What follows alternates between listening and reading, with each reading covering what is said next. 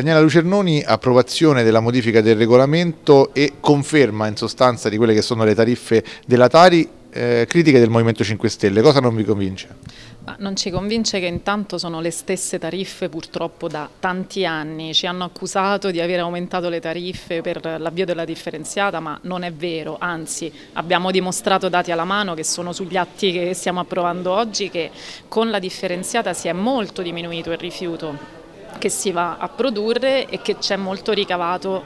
anche dalla, dalla, parte differenziata, quindi si potrebbe fare molto di più, ma si poteva soprattutto attivare la tariffa puntuale che chi fa rifiuti li paga e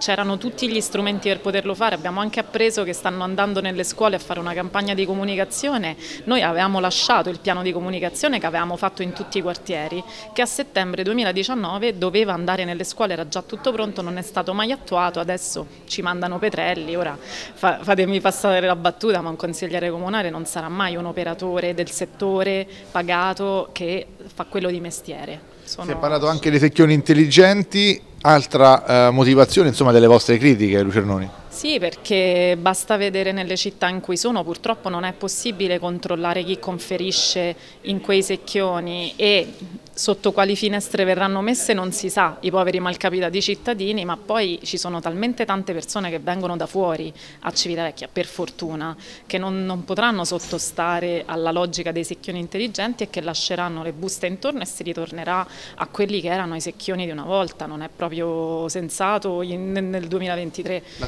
soluzione differenziare di più? La soluzione è differenziare di più, differenziare meglio, fare un, un, piano maggiore di raccolta puntuale dei rifiuti. I cittadini hanno apprezzato il fatto che la partecipata viene a raccogliere a casa i rifiuti, anche oltre le nostre aspettative. Fin dall'inizio è stato per un momento c'è stato uno spavento del cambio di rifiuti ma, di, di, raccolta, ma poi è stato molto apprezzato, quindi è su quello che si dovrebbe spingere. I comuni in Italia che hanno alte percentuali fanno la raccolta porta a porta.